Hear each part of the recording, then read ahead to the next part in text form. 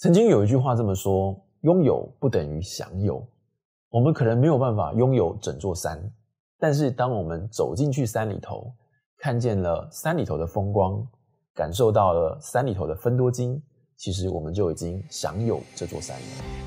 Hello，各位亲爱的听众、观众朋友们，大家好，欢迎再次回到极简实习生，我是 Dan。在本集节目播出后，大约两个礼拜啊，就到农历新年了。我相信有很多人呢，在这个时候已经开始在进行居家的断舍离，开始在大扫除了。有的时候啊，我们拿到一个物品，然后呢，端详了半天，觉得好像要把它丢掉，但是呢，又有点舍不得。最终呢，在犹豫不决之下，我们还是默默的把它放回我们自己的柜子上，或者是把它收进我们的箱子里头了。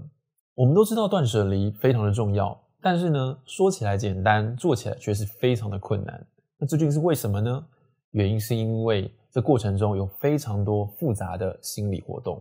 所以在今天的节目当中，我想跟大家一起揭开囤积背后的内心世界，同时分享一些具体的改善方法，提供给大家参考。我的频道主要会跟大家分享有关断舍离、极简生活，还有身心灵成长相关的内容。如果你喜欢这些内容的话，别忘了记得订阅我的频道。那么接下来就马上进入今天的主题。谈到储存或者是囤积，其实在过去的那个年代，因为物质匮乏的关系，所以呢，它是一种满足生存的一种需求。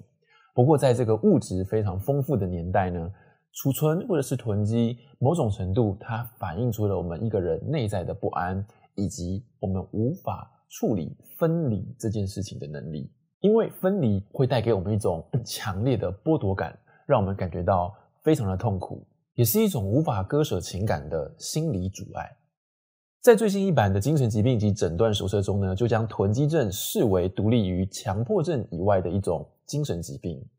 但谈到这边，可能就很多人会很害怕自己到底是不是患有精神上的疾病。不过，我想状况没有这么复杂。多数的人呢，其实他的房间可能或多或少都有囤放一些杂物。但这些人呢，都被称为杂乱者，而不是真正的囤积者。另外呢，有些收藏家呢，他也会大量的去囤积某些物品。不过呢，他也不被认为是一种精神疾病。在《囤积解密》这本书呢，其实他有做了一些蛮详细的整理哦。我们可以透过以下的表格，简单的比较收藏者、杂乱者以及囤积究竟有什么不同。最大的不同来自于居家空间的舒适度。收藏者呢，他会把他自己的家里头整理的干干净净的。它只是针对某些特定独特的物品呢进行收藏、进行收集，所以呢，他会把它陈列的非常的漂亮，也不影响到他自己居住的环境。而杂乱者呢，其实呢，他的居家空间呢，很多该要有的基本功能都还是有的。比方说，他的床不会囤积到无法睡觉，他的空间不会囤积到动线非常的狭窄啊，走路行走行动相当的困难。同时呢，他也知道什么东西是有价值的，什么东西是垃圾，应该要丢掉。不过，在囤积者的家里头呢，他的空间就是非常的狭隘，会影响到他正常的生活。比方说，有些东西已经堆到没有办法把窗户打开了，已经堆到没有床可以睡觉了。有些地方呢，可能有柜子，但是因为已经被杂物堆满，所以没有办法把门打开来。同时呢，这些囤积者呢没有办法分别什么东西是重要或什么东西是必要的，他们几乎盖瓜全收，所以有些东西对我们来说是垃圾，但对他们来说呢是很重要的囤积物。比方说吃过的便当盒，比方说坏掉的三 C 用品，像电视机啊、电冰箱坏掉了，他们也舍不得丢，会把它囤积下来。所以正常的人来说呢，其实是都是借在所谓的杂乱的这个区块里头。而因为每一个人的习惯呢，而有层次、有程度上面的不同，所以今天的节目里头，我会比较聚焦、比较 focus 在杂乱的这个状况里头，我们要如何去改善？为什么我们想要改善杂乱的屋况的时候，有些东西我们却丢不掉，有些东西我们却放不下？其实我认为呢，丢不掉的东西，或者是很难割舍的东西的心理因素，主要有两项。第一个部分，有些人会执着于过去，而另外一类型的人呢，主要会担忧未来。当然，这两项呢，有的时候没有办法完全的拆开来讨论，它会合并有些交互作用。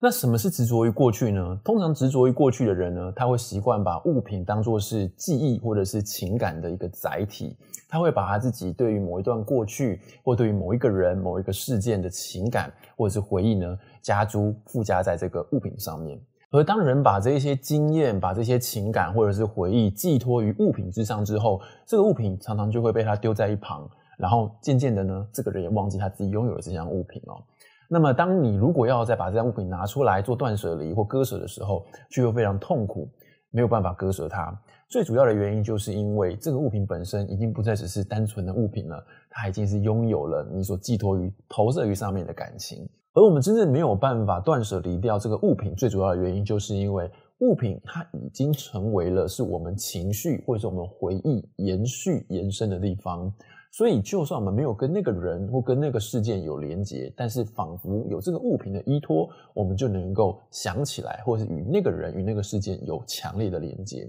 但是呢，这个物品一旦被丢掉，那么就进入了垃圾场喽，进入了回收场，再也找不回来了。所以这个时候，你最害怕的是，所有东西都回不来了，所有东西都会离我远去，什么都没有了。这种感觉让人感受非常的不好，非常的不好受。所以我们很多时候是害怕处理分别、处理分离、处理这种无法分割的情绪，而导致我们始终没有办法放手。所以在这个时候，其实勇敢去面对这个物品本身是很重要的。你必须要把物品跟情感的连接断开来，去感受这个物品本身已经到达它使用的终点了，而我们的情感不一定要依托，或者是我们的记记忆不需要依附在这个物品上面，也得以能够延续。所以在这个时候，我们就必须要非常理性的去斩断物品跟情感强烈的连接。举例来说，如果我们在 呃颁奖的时候。啊，我们在获奖的时候呢，都会有奖状或者是奖杯。不过这些奖状或奖杯呢，就只有在颁奖的那一刻，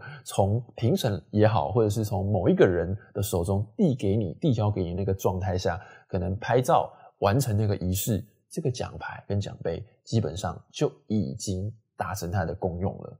所以它其实就不需要囤在你的家里头。你的比赛经验或者是你的实力，并不会因为奖牌的消失而消失，它是一个既定的存在事实。又或者是有的时候我们会接受别人的礼物，而这个礼物呢本身就会绑定了你跟那个人之间的关系，你跟那个人之间的感情，而这个礼物本身它的作用就是在呃承载着对方对你的一种祝福，或者是对方对你的一种心意哦。当这个心意已经被传达了，已经被呃表达了，我想这个礼物或者这个卡片的本身呢，它就已经发挥它最大的价值了。所以有的时候呢，如果这个礼物本身并不是我们所使用的，我们可以转赠出去；或者是这个卡片我们表达了、也理解了、也接收到了这个心意之后呢，它其实就可以回收了。而另外一种囤积的状况呢，就是我说的担忧未来型。在山下英子的书里面，他有提到，经常有些因为对于未来感到不安的而囤积东西的人呢，对于舍弃。这件事情感觉到非常的不舒服，他们经常会问山下英子说：“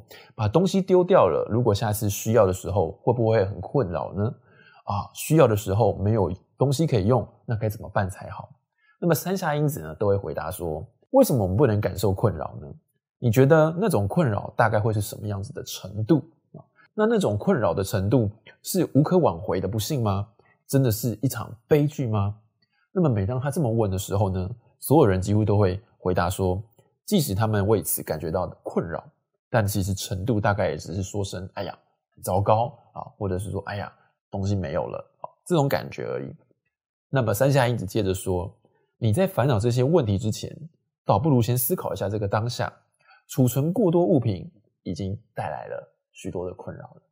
确实，储存物品带给我们非常多的困扰，就如同我们上集节目跟大家分享到的，它可能会带给我们很多空间的不方便。”也会带给我们很多金钱上面的浪费，甚至是时间上面的浪费。当然，我们不是要我们自己不要囤物，或者是不能够未雨绸缪。其实最主要的还是我们要做到总量的管制，还有一进一出的原则。